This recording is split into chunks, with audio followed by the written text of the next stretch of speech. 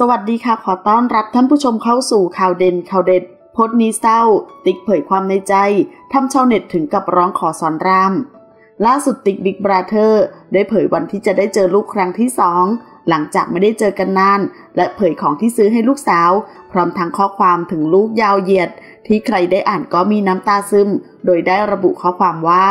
ตอนนี้วีจิใกล้จะครบกำหนดฉีดวัคซีนแล้วหนูจะกลัวเข็มเหมือนเดิมไหมนะวีจิจ้า การฉีดวัคซีนเป็นสิ่งที่ดี เป็นสิ่งที่จะสร้างให้หนูแข็งแรงขึ้น ทุกครั้งที่เราไปฉีดวัคซีนด้วยกัน แม่จะจับมือหนูไว้แน่น ๆ หนูจะได้อุ่นใจ แล้วเราก็ปลอบใจกันด้วยการกอด ให้รู้ว่าแม่ยังอยู่ตรงนี้ ไม่หนีไปไหน สักพักเดี๋ยววีจิของแม่ก็จะหายเจ็บแล้ว วัยของหนูตอนนี้ต้องหาคุณหมอฟันแล้วนะ วีจิมีฟันหลายซี่แล้ว ไม่ต้องกลัวหมอฟันนะลูก แม่เชื่อว่าคุณหมอใจดีแน่ๆ สักวันแม่จ๋าคงได้สอนหนูแปรงฟัน และสอนให้หนูดูแลตัวเอง วิจิเป็นเด็กผู้หญิง ต้องดูแลในแบบผู้หญิง หนูจะได้พัฒนาการร่างกายของตัวเอง แม่จ๋าจะเฝ้าดูหนูอยู่ตรงนี้ไม่ไปไหนนะคะวิจิอย่าลืมแม่จ๋า และเธอได้โพสต์อีกว่า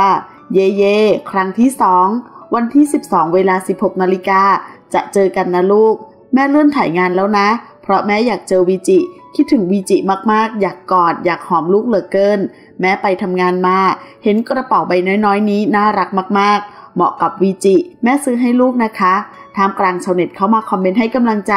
พร้อมทั้งเข้ามาขอร้องให้สอนราม เปิดโอกาสให้อดีตภรรยากลับไป หรือให้อดีตภรรยาเจอลูกได้ทุกวันเหมือนเดิมก็ยังดี คอมเมนต์เช่น เมื่อไหร่จะได้กลับไปอยู่เป็นครอบครัวเหมือนเดิมนะ ภาวนาให้คุณติ๊กได้กลับไปเร็วๆนะคะ คุณหนุ่มให้คุณติ๊กกลับไปเถอะนะคะ เอาใจช่วยค่ะ คอมเมนต์ถัดมาบอกว่า ชอบเวลาคุณติ๊กพิมพ์ข้อความลงไป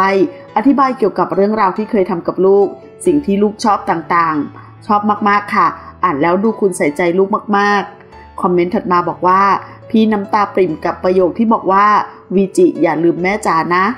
คอมเมนต์ถัดมาบอกว่าทรมานใจแทน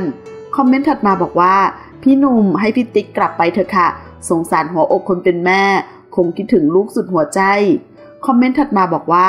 อยากให้ซื้อพวกหนังสือที่เป็นรูปสัตว์ กดแล้วมีเสียงพูด เด็กวัยนี้กำลังจำค่ะ น้องจะได้มีทักษะและสมาธิ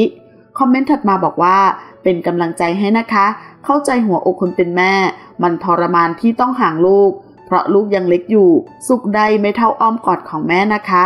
คอมเมนต์ถัดมาบอกว่า เป็นกำลังใจให้กับคุณติ๊กด้วยนะคะ คนเราจะดีหรือร้าย มันเป็นสายใยรักจากแม่และลูก ที่ผูกพันอ่านแล้วน้ำตาไหลเลยค่ะ คอมเมนต์ถัดมาบอกว่า ดีใจด้วยนะคะแม่ติ๊ก อยากให้กลับไปเป็นครอบครัวเหมือนเดิม คอมเมนต์ถัดมาบอกว่า เข้าใจความรู้สึกของคุณติ๊กเลยค่ะ สู้ๆนะคะ คอมเมนต์ถัดมาบอกว่า สงสารมากลูกคือชีวิตจิตใจ แต่กลับไม่ได้ดูแล หัวอกแม่เข้าใจค่ะ สู้ๆนะคะ คนเราผิดพลาดทุกคนค่ะ สู้ๆค่ะ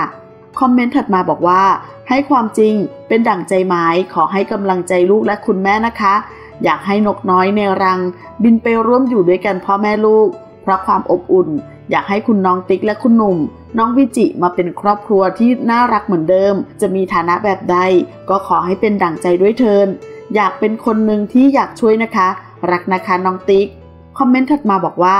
ถึงไม่ได้กลับไปเหมือนเดิม อให้คุณติ๊กได้ไปหาลูกทุกวันนะคะ เอาใจช่วยนะคะ คนเราผิดพลาดกันได้ แก้ไขแล้วต้องได้รับโอกาสค่ะ เป็นกำลังใจให้นะคะ ขอขอบคุณข้อมูลจากที่นี่ .com ขอบคุณค่ะ